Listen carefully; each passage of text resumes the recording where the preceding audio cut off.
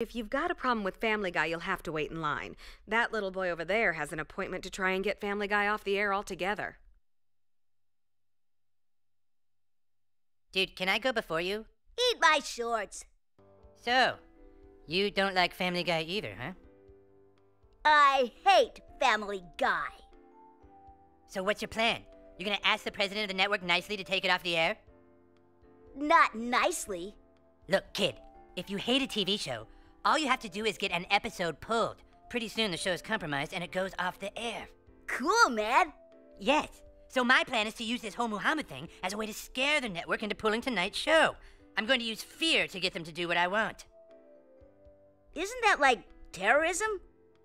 No, it isn't like terrorism. It is terrorism. I could do that.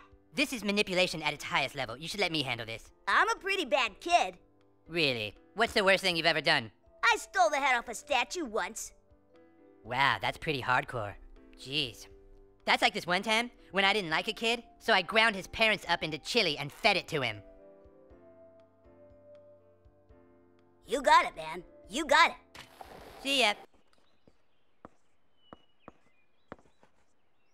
Excuse me.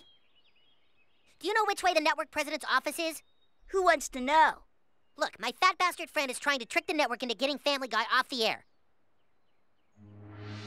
The network president's office isn't there. Oh, thanks, dude. No problem, man. Hello? This can't be right. I... Cowabunga, motherfucker. You came so close to stopping me, didn't you, Kyle? There was just one thing you didn't count on. That more people besides me hate Family Guy. Yeah. Well, a lot of people like Family Guy, too. Who are you to decide it shouldn't be on the air? Shut up. You shut your fing face, man. Did it work? Did you scare the network into pulling the episode? Not yet. But I've come up with a new plan. I've learned how to make the Family Guy writing staff stop working. As soon as everyone goes on their lunch break, I can sneak back in. Cool, man. I did it. I am God! No more Family Guy for me, mon frere. Cartman! You fat ass. How the hell did you get out? That kid and I had a long talk.